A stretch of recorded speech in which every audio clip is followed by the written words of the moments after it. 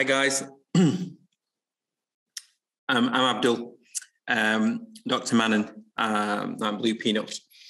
Um, thank you, Imran, uh, for the introduction. Um, uh, guys, welcome to the course. Uh, it's good to have you on. It's quite a few of you, 40 of you, I think, from what I can see.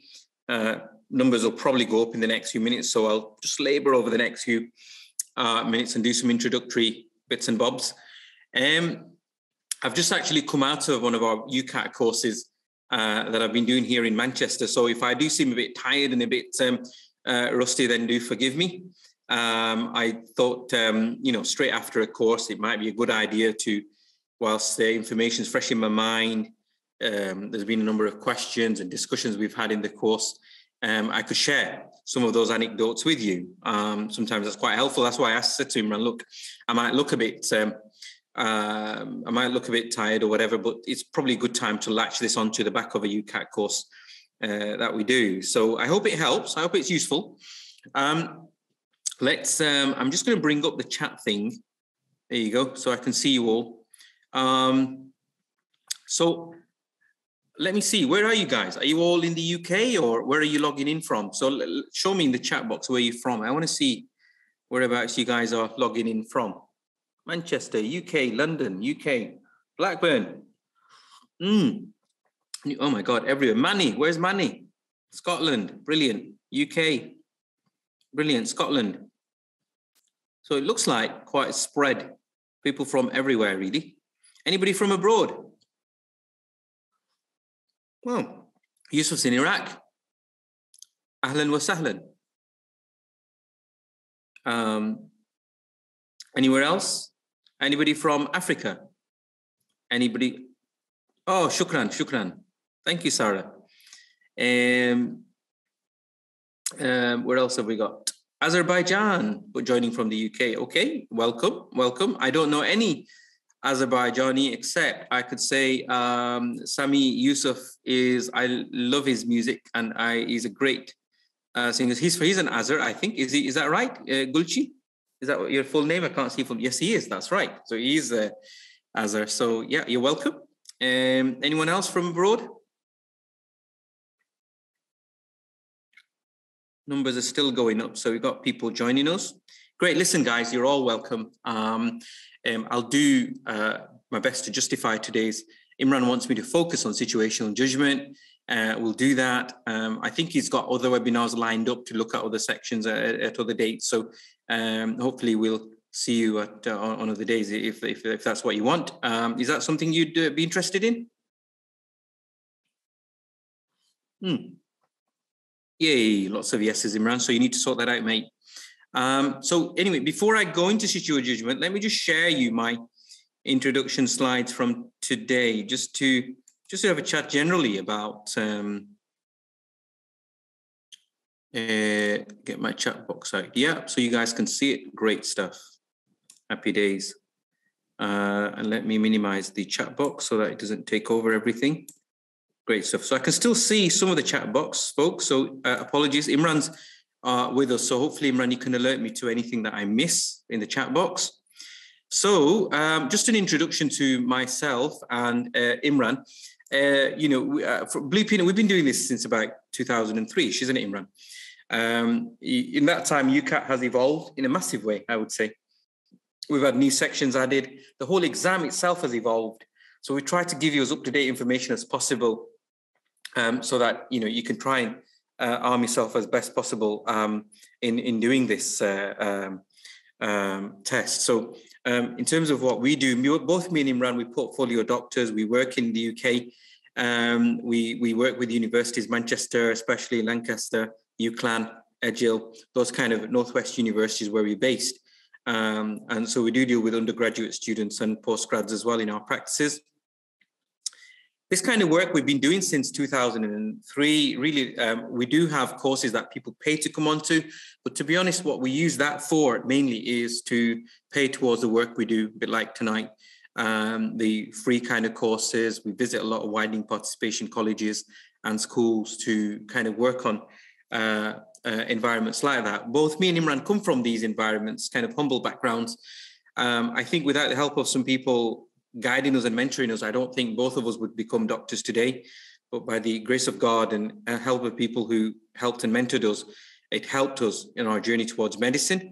And really, that's the main ambition behind Blue and help people get into these professions, not just medics, but dentists, vets, you know, people like that come to our courses.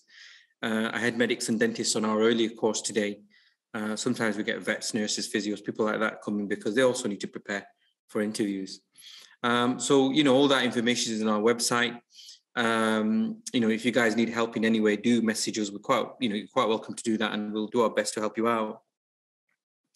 So um, UCAT, you know, do you guys, um, let you know, let's focus on UCAT. Do you guys know what it's all about? Have you read about UCAT? Do you do, or do you feel you don't know much about this test? Am I preaching to the converted here? Do you already know about UCAT, or would you like me to just recap what the uh, UCAT's about? Don't know much, Afshan. Recap, please. Mm.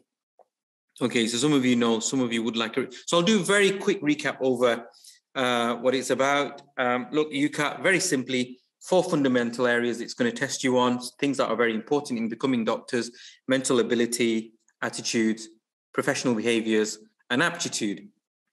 And all five sections are designed to test you um, in this way.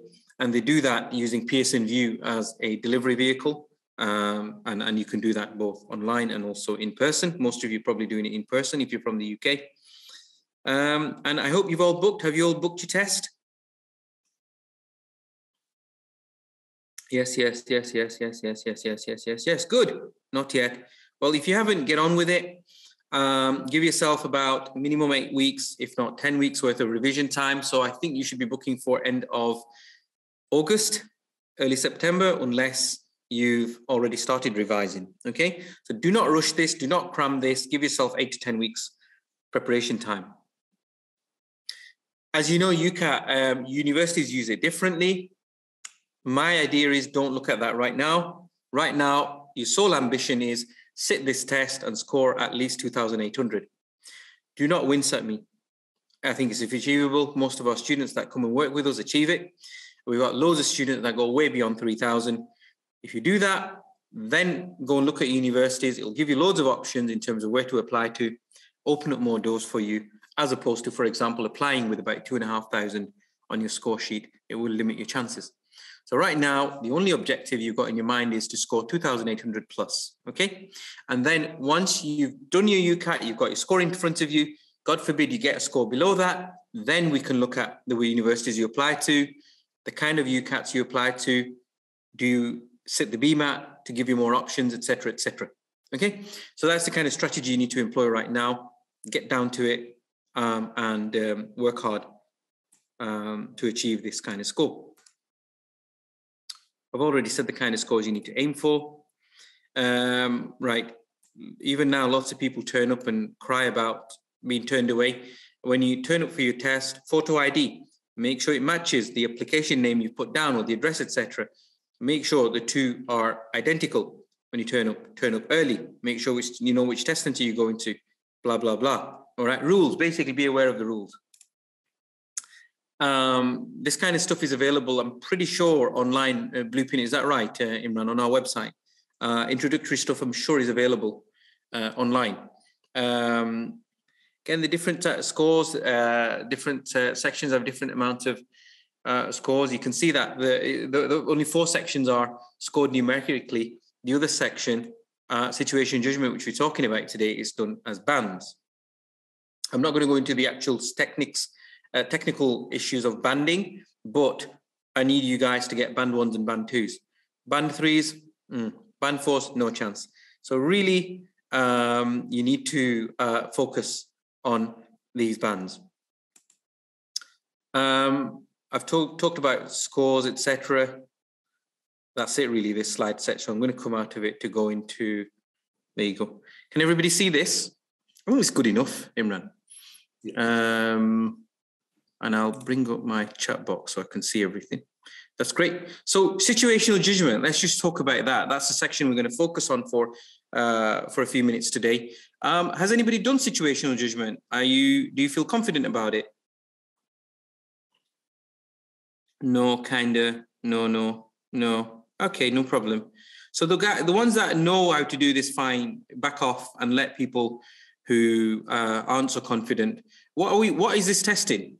What is this testing?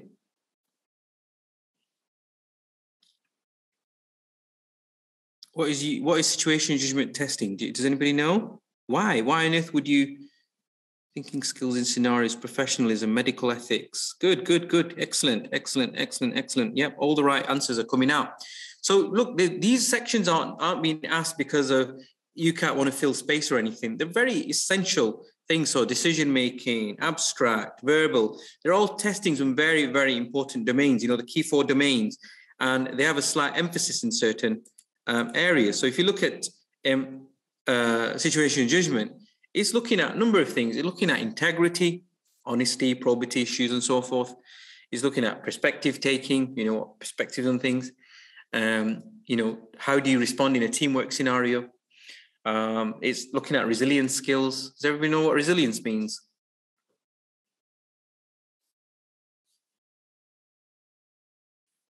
No?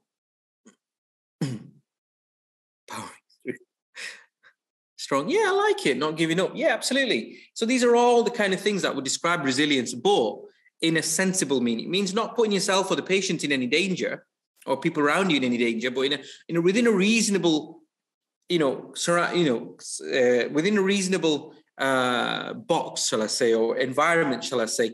Uh, so you're not going to be irrational. You're not going to be overconfident. You're going to be. You're not going to be dangerous. But within a certain amount, acceptable level, you're going to be you know you're going to adapt to your surroundings. You're going to be agile. You're going to be uh, you're going to give it a try. You're going to do your best right? Um, and adapt adapting to difficult situations uh, complex situations and so forth. Life's not easy. Uh, generally uh, humans have complex lives and you're dealing with human lives and issues all right? So it needs a certain amount of agility on your part. Ethics and uh, moral issues as you rightly mentioned resolving conflicts uh, and so on and so forth. And you can see why medical schools and dental schools want to measure a certain amount of ability in that area. Now, in terms of times and questions and scenarios, as you can see, it's a very fast-paced area, you know, about 26 minutes or so. Um, there's a number of questions and scenarios that come out of these 22 scenarios at the last count uh, of, of situational judgment. I don't know if it's changed lately. Um, but it's around about 22 questions. And in these kind of um, scenarios, what it's trying to do, it's asking you to step inside the shoes of who you are. So it's very important in the scenario that you don't think yourself as like being at home, being at school, being in the community. You got to live that scenario, be in that scenario. So there's a few things you need to think about. Um, number one, you know, who am I? Who are you in that scenario? Who are you relating to? Is it another patient? Is it another colleague? Is it um, the administration? What is it you're re- relating to? And very, very importantly, contextualizing the scenario. What's going on in the scenario itself? Because that very much. Um, so Imran um, is 66 questions apparently. So what you find is there's slight changes. Um, go on with these. Um, I've not looked at it since um, uh, you know, the recent guidelines based on last year's guidelines. So I guess there'll be one or two changes, but I, overall, guys, you know, don't kill me for slight differences. I don't think it matters anyway. Um, so the the point is the exam will be over two hours. You'll be doing all five sections. C'est Um, these kind of questions is uh, you want to look at appropriateness. You look at looking at importance of a situation and as I said to you, it's not numerical um, uh, outcome, it's, it's banding. Um, and bottom line is you've got to be pretty quick. What do you think? Doable? 30 seconds?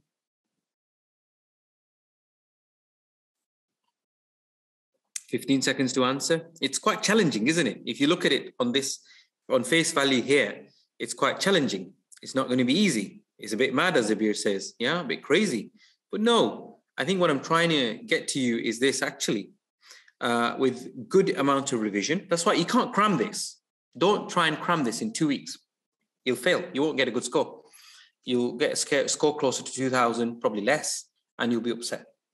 Give yourself eight weeks, 10 weeks, 12 weeks, whatever you can afford, uh, as much as possible, and go and sit it properly. You know, you're only going to have one go. You can't do a resit, certainly not this year. Um, so give yourself time, prepare well. I haven't got time to go through it, but in my um, on the Blue Peanut website, I do go through revision timetables and uh, how to split the time up, how to give yourself um, ample scope to do well. So as you can see, um, some of these questions will ask you to think about scenarios and say, well, how appropriate is something, right? Is it uh, very appropriate? Is it appropriate but not so ideal? Is it inappropriate but not awful? Um, or is it a very inappropriate thing to do, right?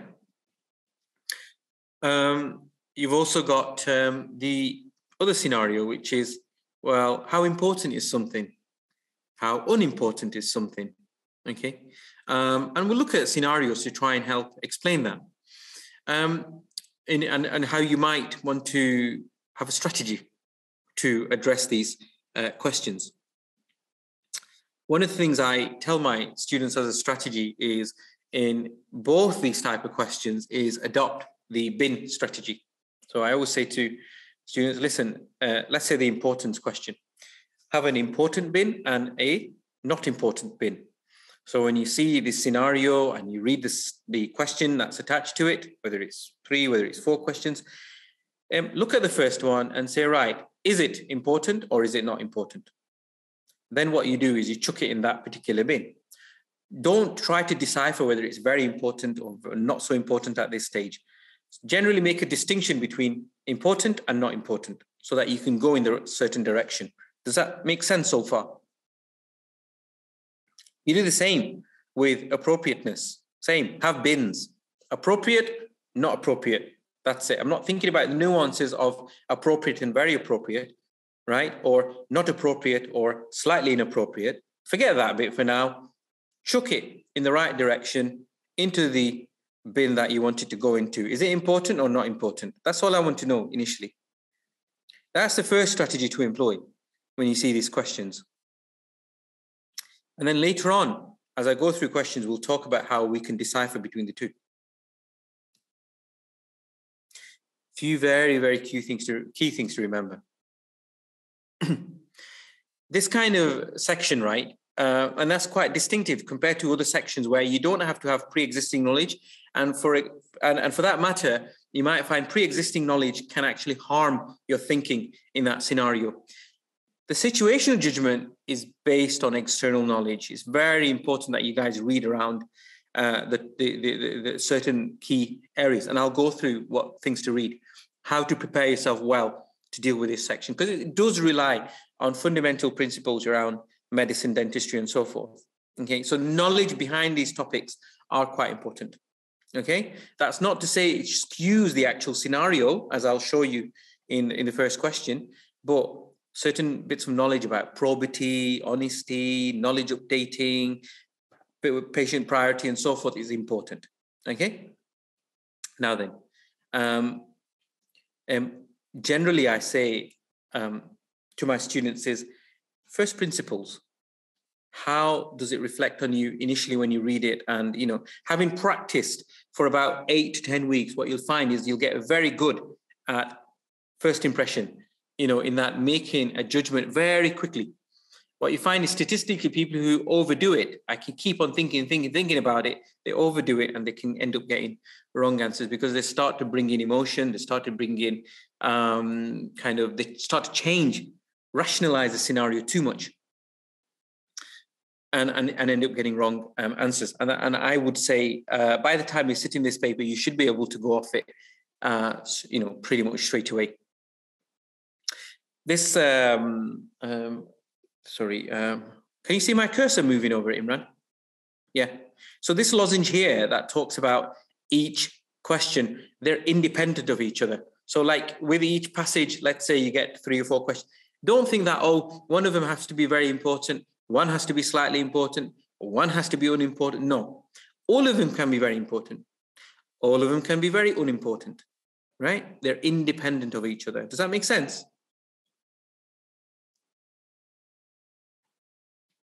Talk to me, man. Keep me entertained so that I know you're not falling asleep. Reply back. Use this uh, chat box. Otherwise, I ain't going to move on. Okay.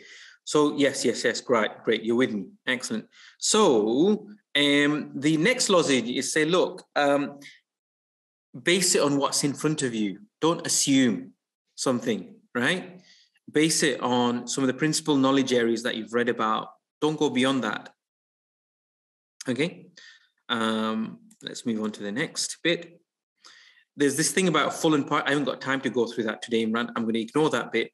It's uh, um, if I had a couple of hours to go through it, I'd go through it. But just read up about full and partial marks. You'll understand it better in the books and things that you read. Or there's online sources as well. Your Blue Peanut, there's plenty on there on online as well. Um, read the scenarios carefully, understand the nuances and the context it's putting there. Right, is somebody angry or not angry? You know, who is it? Who are you talking to? Minor, adult? What is it? Um, so understand the scenario well. Don't overthink. Um, I would say be quick at it, be more agile with these um, questions. It'll do well for you.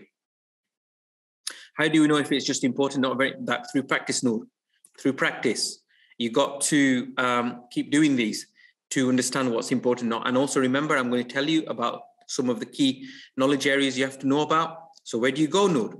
Let's talk about that. Are you all medics or is there some dentists here? I can't remember what, what we, it's getting late. I'm getting tired. I'm old. Tell me, are you podiatrist? Podiatrist. Wow, that's first.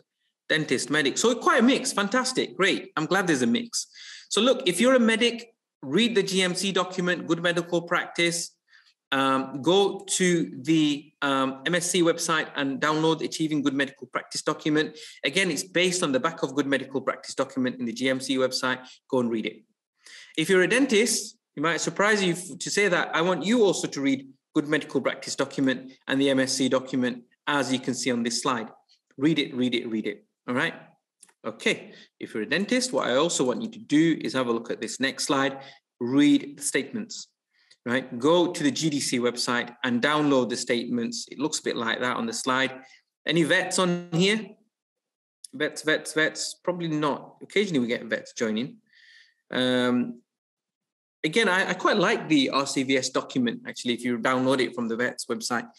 What you find, even the medics, what I want you to do is read the dental statements because I quite like the dental statement when it talks about financial interests and conflict of interest. It's actually a lot more comprehensive in the GDC document than it is in the GMC for obvious reasons. In the UK, medics are more into the clinical stuff rather than financial issues and conflicts coming in that way. If you look at the Australian document that the uh, Australian uh, uh, Medical Council creates, um, it's even more talking about commercial interest, sponsorship, etc., etc. And you know, you might just want to go there and have a look at what's going on. Why? Because listen, in the UK, dentistry is a lot more commercial than your average medical speciality. However, let's be realists, even within the NHS, finance is coming into it a lot more. In the future, I think, I think, don't shoot me, I think um, the issue of co-payment, the issue of payment in general for certain aspects of treatment will come more into medicine. All right. Rais, what do you mean required for interviews? Um, well, this section is really good actually. Situation judgment it actually will prepare you very well for interviews because these issues are you know the backbone of the kind of things that are discussed in interviews. Does that make sense Rais? how many hours Noor? Um, starting off with one or two hours a day. Uh, very quickly i'm not got time to go to revision plan but what i want you to do over a seven day period is right now most of you, you shouldn't have any exams you got, you know, you can chill out, do lots of things. In the seven days, I want you to spend one day chilling, do other things, enjoy, travel, whatever, meet friends, family, etc. Then you got six days left. One of the six days, I want you to buddy up with friends from college or wherever, so that you can bounce uh, with each other. You know, areas where you don't understand, areas that you have issues with. You can kind of cross-examine each other, help each other understand. So what we're going to do is pass UCAT by helping each other. So peer learning one day, okay? Do that. That's really good. You'll benefit from it. Um, it's a very good technique. We teach our medical students, dental students, postgraduate students, and doctors and dentists. So peer learning, employ that early right now. I know you might not be as used to it coming from schools and colleges, but one day do that. The other five days, I want you to simply split it, okay, across evenly. So one day verbal reasoning, one day situation judgment, one day, um, you know, uh, decision making, etc., etc. One section per day. Then some of you might have a, like for example, I had a boy um, who came to the live course today. He has a very much big weakness in verbal reasoning section. So what he's going to do, as well as evenly going through each section per day, um, over about two or three days, he's going to also do a verbal reasoning section on top of the other section. Do you get what I mean? Just so that he gives it a bit more priority. Okay. I can't go through verbal reasoning necessarily, not today. Um, so yeah, initially one to two hours um, in the first three weeks or so, then try and amplify it to two to three hours in the next three, four weeks, and so forth. Try to get to about two to three hours toward the end of it. In the last two weeks of revising, what you really should be focusing on is your weak areas, you know, battering them, battering them so that you keep on improving those weaker areas. Okay. BMAT revision. Listen, guys, again, I haven't got much time. I've done a video, uh, I've done a blog on it as well. Go and read it on the website. Um, if you do very quickly, if you do well in your UCAT, it sets you up really well for section one in BMAT. Section two, go and get the CGP uh, science books, GCSE level, practice them for section two. Very simple, very easy to do. Section three, be good at essay writing. You get a choice of uh, an essay to do. Write it well, good essay writing technique, you'll do well. Simple. BMAT is not that difficult. Don't limit yourself just UCAT. Increase your chances if you want. If you want to employ the other strategy whereby you do UCAT first, and based on how you do in your UCAT, you might stick to UCAT universities. If you feel mm, I haven't done so well, you might just want to open the doors a bit more by doing the BMAT test later. Does that explain that as a strategy? Right? Don't worry, if you have to later do a bit, bit more revision, you know, CGP books and things like that, you can do that. That's the strategy people employ. Other people simply say from the outset, I'm going to do both UCAT and BMAT Go for it. Don't be scared. Statistics will tell you that if you do well in UCAT, you'll do well in BMAT Statistics will also tell you that just because you're doing both does not mean you'll do uh, you spread yourself thin. One actually strengthens the other. So actually doing both is not a bad idea at all. If you're not wedded to the fact about go, applying to BMAT universities like Imperial, Leeds, Lancaster, and so forth, then fine, just do UCAT. You know, so for example, some students will say, "Listen, doc, I'm not bothered about Leeds. I just want to apply to Manchester, Liverpool. I want to apply to Birmingham. I want to apply to um, Leicester." Fine. Okay, stick to your UCAT because you're quite wedded to those, and your UCAT score is allowing you to, etc., etc. Your GCSE grades, your predicted A levels, all of that is fitting in fine with those universities. Okay, fine, stick to UCAT. Do you get it? You've got to be quite emotionless and scientific about how you apply. Just because, yeah, Imperial College, your dad went and your granddad went to it. Don't be too emotional about it. You may not go to Imperial. For goodness sake, just get into a med school or a dental school because at the end of the day, wherever your degree is from, it's actually okay. All right. Um, I've got um, um, well, people from all uh, universities I know of now, who some have done well, some haven't done so well, some have done differently. You know, these are postgraduate things. Once you've become doctors and dentists, remember there's more to life. There's other things that dictates where you end up. Um, don't be too drawn on where you apply to or not. Apply to them only based on scientific basis of you know, getting in, maximize his chances of getting in. So don't be emotional about it. Let's move on. Okay, we haven't got much time, so let's move on. So remember that document. If you go there, the reason I said, look, have a look at it is because one of the sections you'll read about is knowledge, skills, and performance. If you read it, I'm just going to skim over this topic. It will t- tell you about care. Where does it rank? Making the care of the patient your first concern. Seems logical, right? uh, up to date, staying up to date. Something very important about staying up to date about knowledge and skills. If you don't stay up to date, uh, you're going to become more out of date and you're going to become more dangerous as a professional. Recognizing your resilience, it has to be coupled with recognition of competence um, so that you're not a dangerous clinician. Um, in terms of uh, making patient your priority, yes, of course there's a recognition at the um, uh, councils that um, your patient is your top priority. Okay, they should be first concern in clinical scenario. However, is that written in stone? Can that be sometimes not be the case. Can you think of any scenarios where really that might not be the case?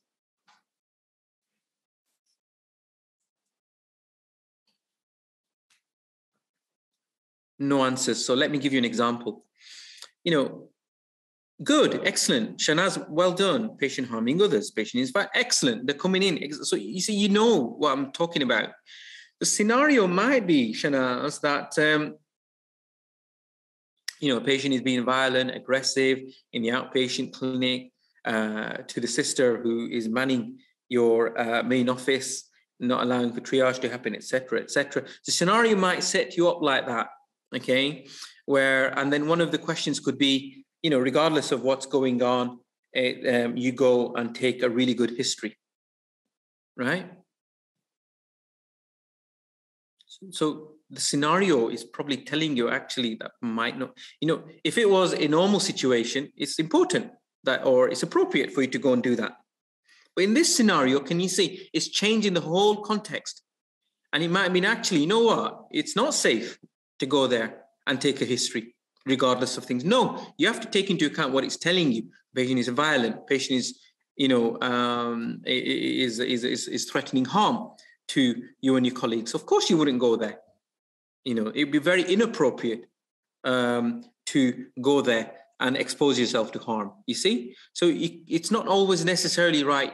Patient uh, you know, comes first, regardless of what's going on. The patient's collapsed in front of you. Okay, you need to do basic life support on them, but they're in a, um, you know, they're on the bottom of a cliff. Are you going to jump off a cliff to go and save them? Of course you won't. You're going to get them, get to them safely. They've collapsed in a puddle of water.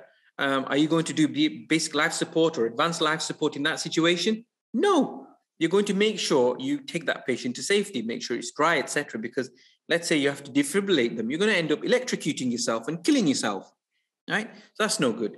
You know, somebody's collapsed in the middle of a motorway. I don't know why they would be in a motorway, but let's say in the middle of a road or something. You're not just going to jump out and provide basic life. You're going to first make sure traffic is stopped, you know, so that nobody runs you over. There's no point.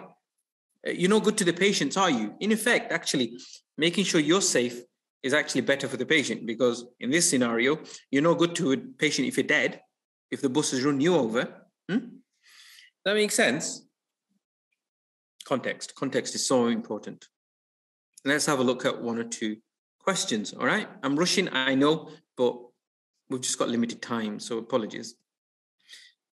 So who wants to do this? All right. I mean, let's just do it as a group perhaps and, and uh, try this because it'd be nice to, because we've got a chat, chat box. We can see what people think. Um, so look at this, um, one of these UCAT questions. You're a medical student. So who are you in this scenario? Remember I said to you before, who are you in that scenario? Who are you? Are you a consultant? Are you a doctor? You're a medical student, medical, right. So yeah, train yourself to number one, see who you are in that scenario. Number two, are you in the street? Are you in the hospital? Are you in the hospice? Where are you? GP practice, GP practice. Good. So you understood your environment where you are. So you might think, okay, I'm a medical student you're not just in your friend's house, are you? Your behavior changes depending on where you are. Okay. So one of your patients needs a follow up appointment, and you send the receptionist a message through the computer system to book this. She comes to you very angry and says she does not like computers and tells you to write your request in a post it note. Let's change that scenario to say, right, you and your friend um, in your halls of residence, right? You've sent a message via WhatsApp to him. He comes to you and is really peed off, saying, Listen, why didn't you send me a post it note or a written note rather than WhatsApp? Do you think how you respond to him could be very different to the way you respond in this scenario? Yes or no? Yes. Absolutely. Good. Excellent. I'm glad you're seeing that. Why? Because, you know, if a friend came and said, Oh, listen, man, what are you WhatsApping me for? Why not sending me? You might say, Get lost you know, bugger off. Who do you think you are? I'm going to WhatsApp you. Move on with the times. Are you an idiot? Everybody's WhatsApping these days. That's how you, I'm just being honest. That's how you are in that scenario. In a GP surgery, you're a medical student. You're not, you're probably not a fixed member of staff there, are you? If you're a medical student there. Would you agree with that? Whereas this receptionist is a fixed member of staff. Do you see that changes dynamics? You're clearly not the consultant or the GP principal there, are you? Yeah, you're a medical student. You're learning there. Okay, that's your status there. The um, receptionist is a permanent member of staff who's upset because you've, you know, she's or he's expressing frustration. He's angry. Or it's a she actually in the scenario. She's um, so it doesn't matter. It could be he or she. You know, is she in a good mood? No. So would it then affect how you respond to her? Yes, good, excellent, excellent. Remember, if you read those GMC and GDC document, you'll come across conflicts, how to manage conflicts. This scenario is very much going into conflict situation, okay? The principle of conflict is to escalate or de-escalate. De-escalate, good, excellent. See, it's not rocket science, guys. This is it's not difficult at all. So yeah, so this is the overall principle of what you're being tested. Can you see how background knowledge is helping us a bit here? It's not in a way dictating the scenario, but what it's doing is affecting your behavior and how you react to a scenario. Okay, because you've read about conflict, you, you've read about de-escalation and so forth.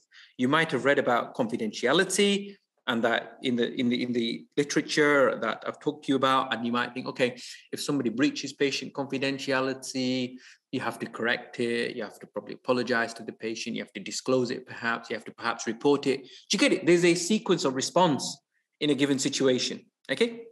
Um, your um, fellow junior doctor, all right, is uh, exchanging a bag from a guy in the corridor all right, in the hospital, and you happen to see that. What do you think is going on? He's getting a bag of something from a guy, gives him a bit of cash. What's he doing? Something dodgy, maybe drugs, drugs, dealing, etc. Yeah. Can you see? Your first impression is that. But can you be sure? Yes or no? Can you be sure that's happening? No. Yeah. I mean, the uh, you know the the samosa shop I go to, they give me samosas in a brown bag. Do you get it? It could simply be, you know, a, a samosa that he's getting from this guy down the road. Do you see what I mean? He's probably ordered it on Uber Eats. Exactly. Good. So yes, it's saying that you're not going because you've read about these things about reporting dodgy behavior. You know, of course, if there is drugs, if he's buying drugs, you've established that fact. You know, let's say this happens okay i'm not saying it will happen but in real life okay so dawood you're there on my screen i can see your name in real life you've said you know you're friends with andy uh, you go to school together and on your way to school you find that he's you know getting some drugs from somebody are you necessarily going to go to school and tell the head teacher about him or would you just talk to him and try and sort things out what would you do dawood Second option. Yeah, quick, good. You know, you'd probably sort it out between him and say, listen, pal, what are you doing? You're messing up your future. Please, come on, sort it out. You're not going to take it to school, are you? Probably not. You might do if it's in school, if he's dealing to other students. So the context changes things, you see.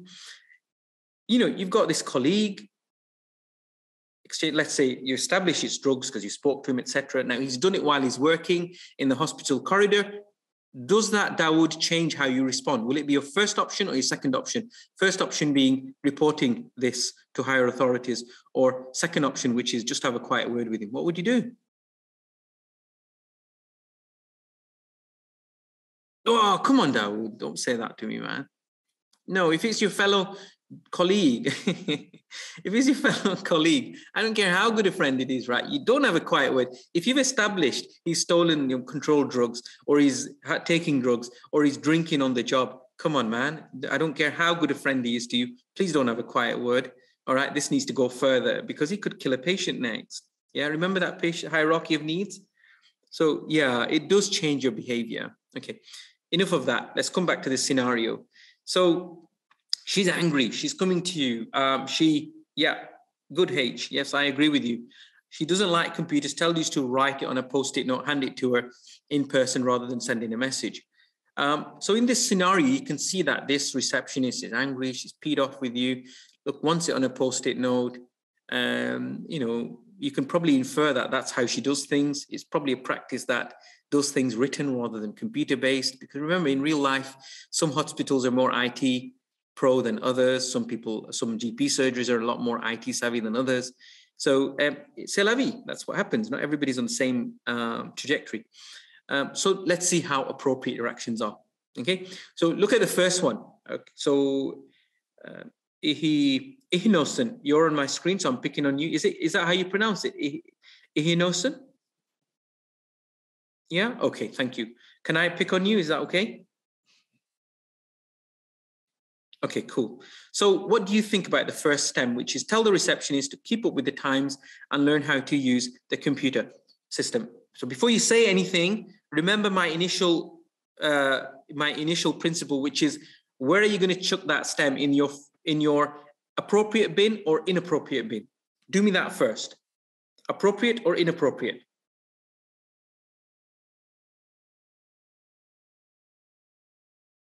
Excellent.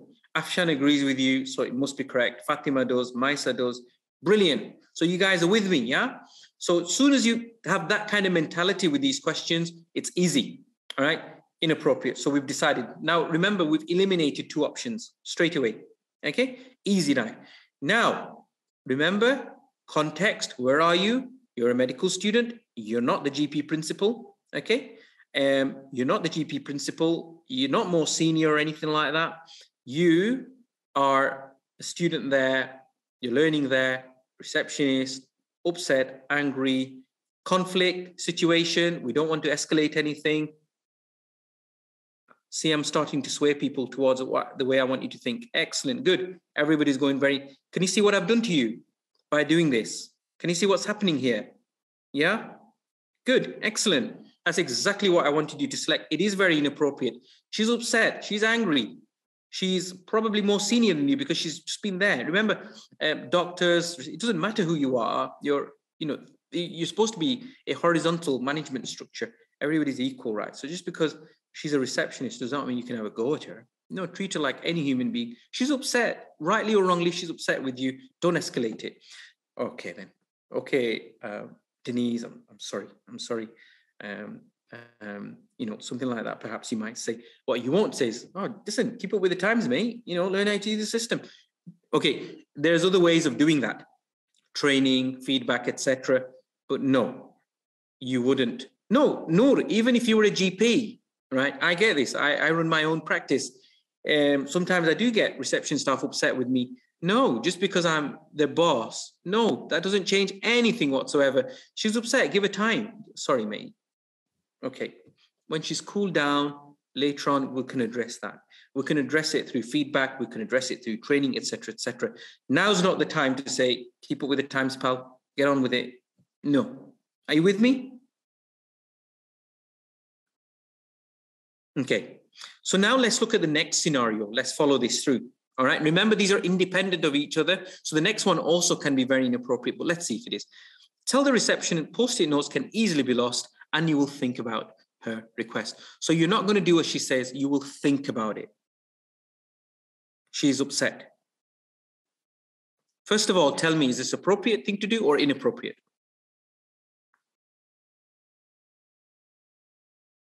Most of you are appropriate from what I can see. Sorry, inappropriate, which is actually correct. Some of you, this is what I get all the time. Some go the appropriate but not ideal scenario. No, always contextualize. If she was uh, pleasant, if she wasn't too upset, perhaps you might go the appropriate way. But actually, inappropriate is the more correct one because the escalation of a conflicting situation.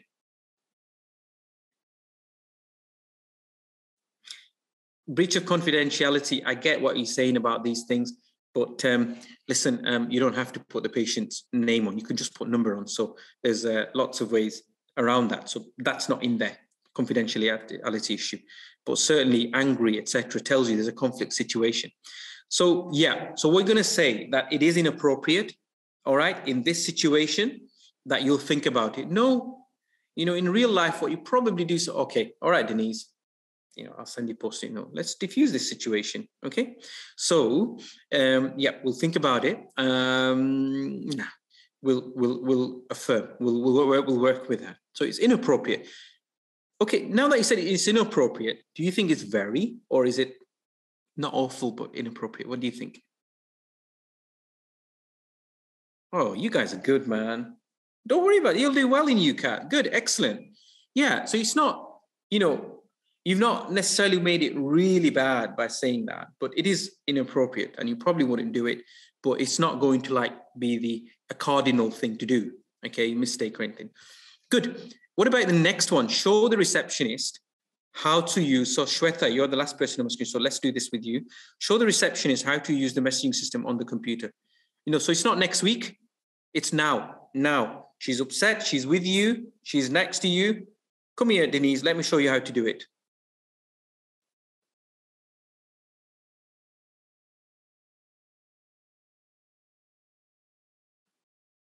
Ooh, I think I'm getting half and half here.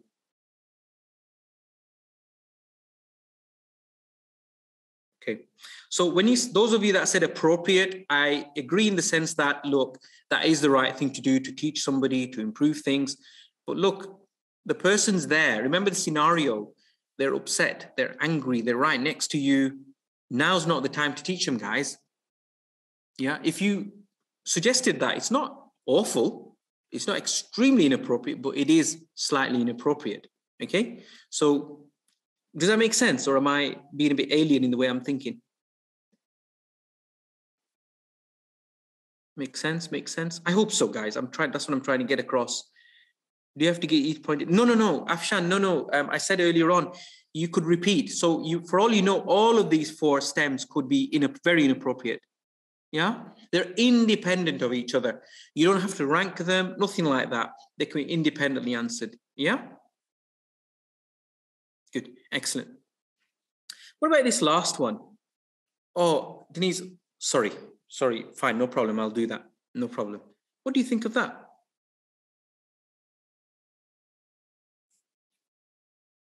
H, I'll come back to that. Very appropriate. Okay, so those of you that said very appropriate, I'll tell you now, you win. You win because whenever you say see apology and sorry, more often or not, it's a really good thing. You know, um, let's say um, I don't know, you have a bit of a fallout with your friend or your mom or your dad. Listen, even if you're not wrong, to use the word apologize is not necessarily an admission of guilt, is it? You know, um, it, it, it, it's a diffusing word. It diffuses that situation. It just calms people down. Oh, Denise, I'm sorry about that. It doesn't mean you're wrong. What you're doing is de-escalating. It's a really good de-escalating strategy. So when a patient comes in, he's, um, you know, he, he says, look, you know, you've given me the um, uh, wrong antibiotic, doctor. Da, da, da and I actually know that I've given the right antibiotic, you know, it's nothing wrong to say, look, I'm sorry you feel that way. Um, I'm, I'm sorry how you're feeling about it, but can we talk about this? Do you see what I mean, Shweta? It's a nice way to diffuse things.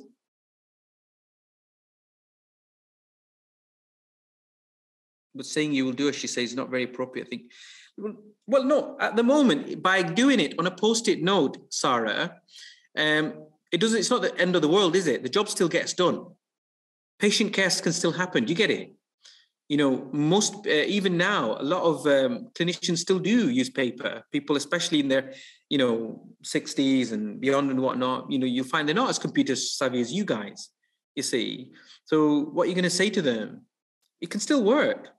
My partner, who retired two years two years ago, he never used our computer messaging system, but there were ways of using paper which, which was auditable, which was um, uh, managed. It did have its flaws in that you could potentially lose a message. There's a flaw there in terms of auditing standards, but you could have a pretty robust system, you know, um, on a written form. It's not a, a, massive cardinal mistake to go on paper, you know. So no, it's not an admission of guilt or anything like that. But what you're doing there is you're just diffusing the situation. Okay, I'm sorry. Fine, I'll do it like that. Now, afterwards, you might, and she's cooled down. Denise, listen, you know, earlier on we had this situation. I don't know. I just we're just trained on computer a lot more. I don't know. What do you think? What are your views on that? Should, is it something? Do you want me to show you how to? You know, is something we can work on? You know, I guess I'm sorry about upsetting you earlier on. You know what I mean? That's what you would do in real life in that professional situation. That's what I do.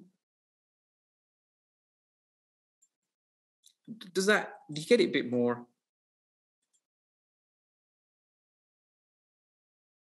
Do you get it? Do, does it work?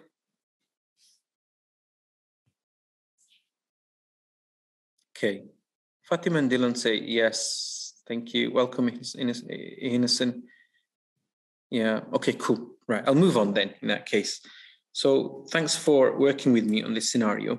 I just hope it's helping you to illustrate those principles of who are you, what's this the who are you engaging with, number three, what's the context in the actual um, scenario rather than what you might perceive it to be, or what you might it might be in, in another situation, or what it would be at home or another environment.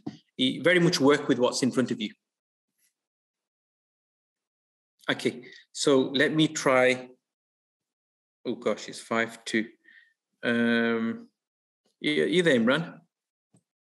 We're running out of time, aren't we? Yeah.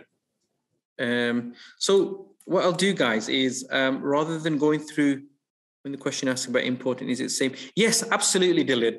Um, it's just semantics, really. In some situation, it's important for you to do something rather than appropriate. That, that's all. In terms of principles, it's similar, actually very similar. It doesn't, um, excuse me. What's the next, the other question? Um, sorry, I can't see the whole question. Um, I'm in year 12 at the moment. Would it be possible for me to take my UCAT exam this summer as a practice and then take it in finals? Well, don't you do it after year 12? I don't quite get that question. I mean, each year you can only sit it once. Um, oh, let me just increase screen. Um, I don't really know what you mean by that. I'm in year Sully. I'm in year 12 at the moment. Would it be possible for me to take my UCAT exam this summer? You can't because if you've done year 12, this is the one you're sitting for your um, application, isn't it? Or am I missing something?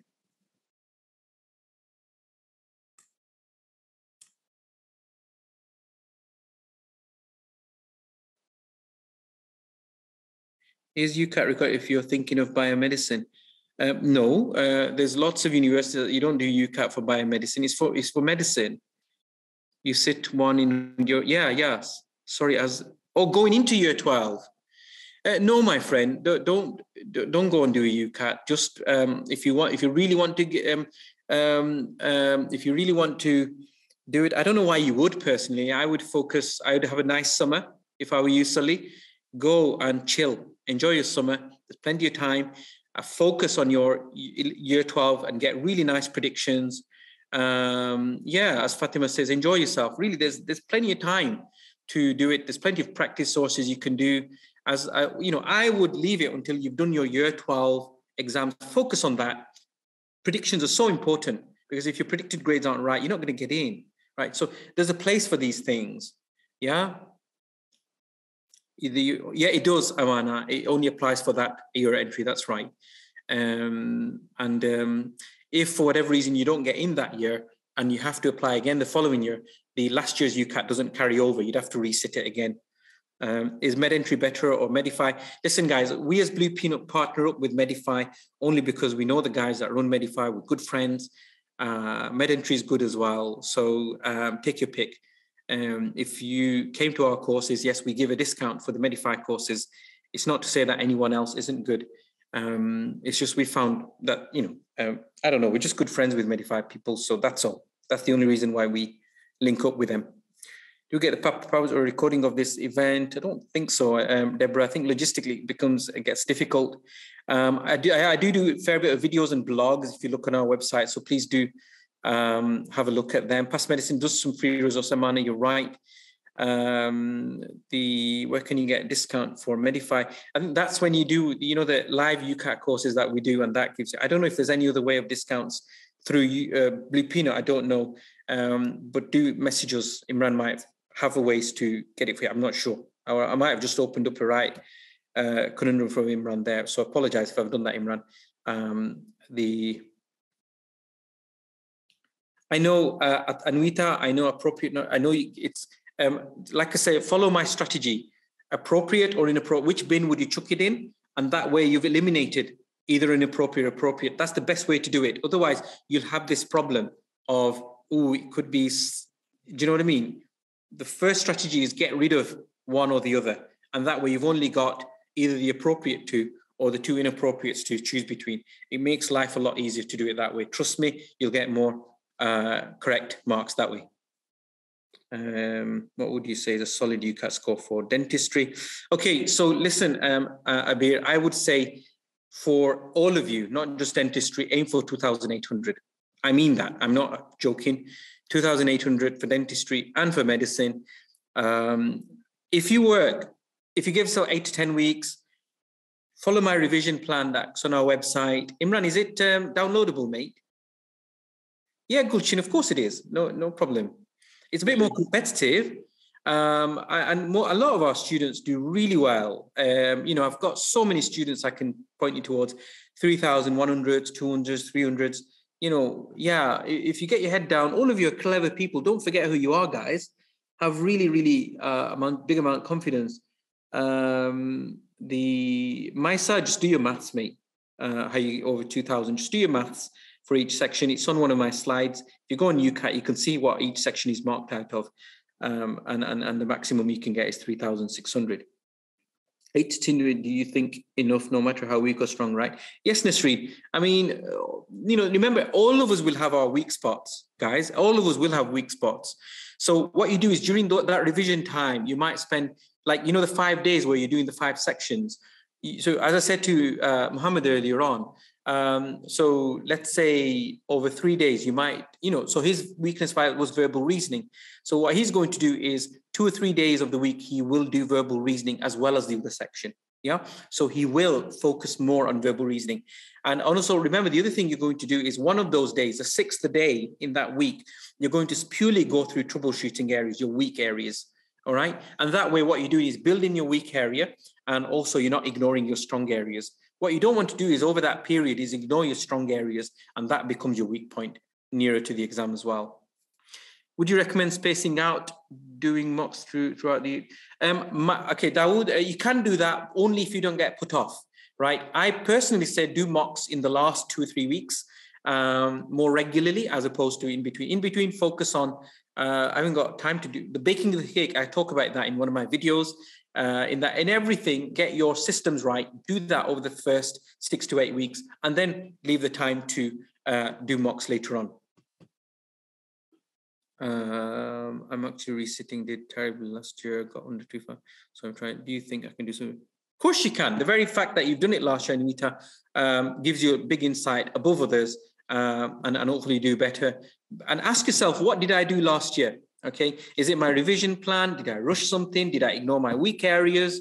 or so, you know, generally you'll find, if you're honest with yourself, you'll find something wasn't quite right. Or even the night before, you might be, you might, you might have studied right of the day before. You were stressed on the day. You were tired on the day. You know, on the day again, I talk about in my revision plan. On the day, you know, get up early, make sure you're there early, make sure you don't overdo it, make sure um, you, you, know you stay in a hotel the night before if you go to a center and it's far from home. Uh, if it's not too far from home get there about an hour early and kind of do you know what i mean? Give you don't rush things. You're nice and relaxed when you're there. Okay? Um, time question naomi. Again in my opinion time yourself towards the end maybe two three weeks before the exam rather than initially because again i find that puts people off okay any good books read for medicine interview not for Tanveer. again I do cover that in the blogs. Have a look at them. Um, there's lots of sources, um, and, and, I go through quite a few different areas of medicine interviews in the blogs. Have a look at our um, uh, website. Imran's put the link on. H. Have a look at that. If you're also doing a morning slot, what what do you recommend doing to warm or should it be? So, like you know, in the morning, guys, make sure you know that would you get up early. Make sure you I don't know go for a walk or something. Make sure you have something that keeps you awake. So have some long carbs, you know, things that, you know, porridge or whatever, you know, that so you've got plenty of energy. Remember, your brain needs lots of energy for it to work. Don't starve yourself, you know, don't, you, you know, so eat a nice breakfast. Uh, make sure, uh, you know, uh, you might want to have a bit of some bounty or something that's giving you sugars, whatever.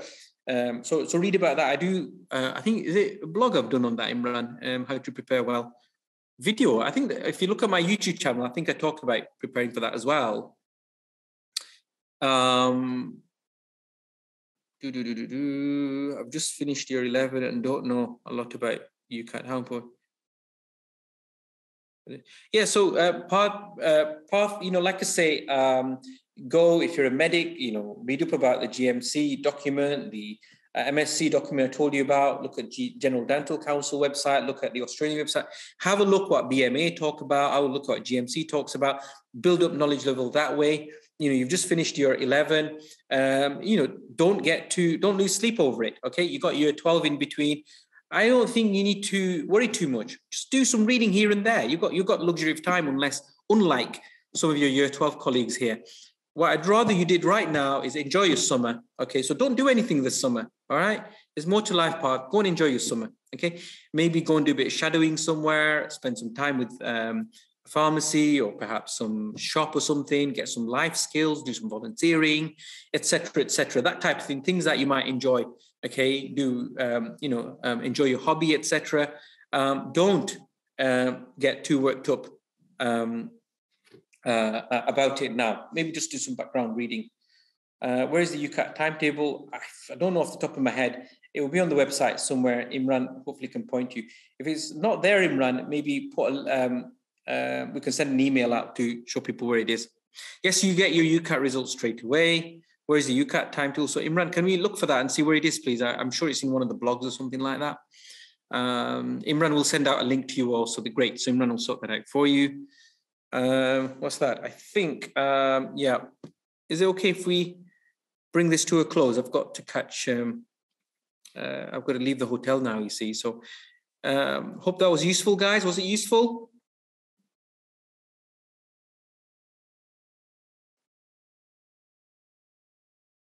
Not a problem. Um, keep a lookout for announcements that Imran makes. Every now and again, he'll put these free courses on for different sections. And, you know, I quite enjoy doing them. It's not a problem at all. Um, and, and honestly, look, remember, Blue Peanut wasn't born to make, you know, we don't, you know, courses, some of these courses are paid for, but we use it to actually do our work that we do with widening participation schools and colleges. So our main purpose, Blue Peanut, is to actually help people get into medicine and dentistry, like myself and Imran. We wouldn't have come into medicine had some other people not helped us. That is actually the main work at Blue Peanut. If you've got questions, if you've got friends, if you feel, um, you know, and even on the paid courses, if you feel some of you might need a bit of help or, you know, to come on course, just don't be scared to ask. Just email us and say, look, I can't afford it or whatever. Can I come? We'll sort something out for you. We'll sort something out. Okay. Um, we're in a hotel situation here. You know, some students paid today. Why? Because A, they can pay, okay? They can pay. It helps to pay the bills for our website, SEOing, uh, Eventbrite costs, um, hotel costs here, feeding the students while they're here. Do you know what I mean? Things that just helps keep us going. We can't forever afford to do everything from our own uh, pockets, you see. That's why you have some of these paid elements of the of Blue Peanut. I hope that makes sense you have work experience opportunities in Manchester? I can link you up, Anvita, if you really wanted to find uh, places, then email us. I've got friends who work as GPs, consultants, and so forth in Manchester area, and similarly across the UK.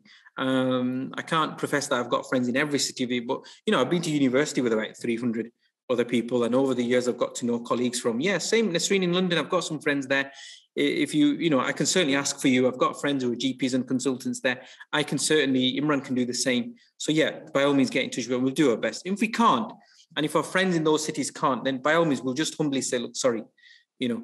Uh, it's a support at bluepeanut.co.uk just email us on that. I'll do our best to help you. Okay guys. Thank you thank you thank you. Have a lovely evening. Goodbye